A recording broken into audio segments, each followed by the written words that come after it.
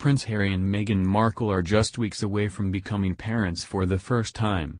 But, according to one royal expert, Meghan's father, Thomas Markle, will never see his new grandbaby. In the new TLC documentary Meghan and Harry, A Royal Baby Story, royal expert Duncan Larcombe, author of Prince Harry, The Inside Story, says that the chances of Thomas meeting Meghan's first child are zero. I can't think for a moment that Thomas Markle will ever be able to meet his grandson or granddaughter, said Larcombe.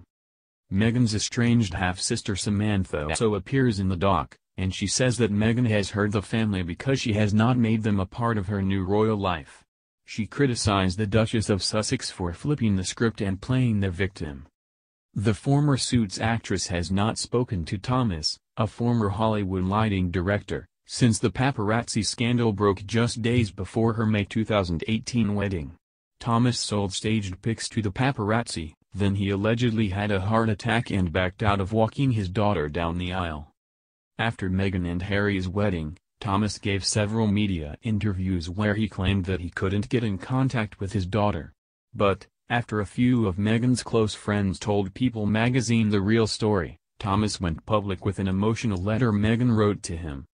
Your actions have broken my heart into a million pieces, not simply because you have manufactured such unnecessary and unwarranted pain, but by making the choice to not tell the truth as you are puppeteered in this.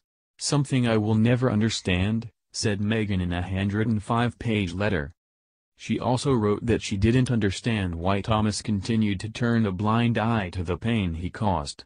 And, Meghan added that if her dad loved her, then he would stop and let her and her new husband live their lives in peace.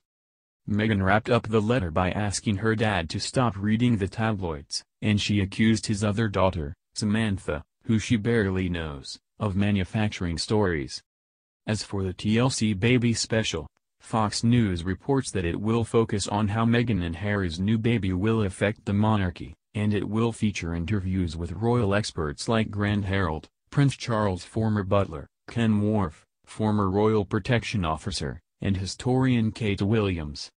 Meghan and Harry, a royal baby story airs Tuesday, April 9 on TLC.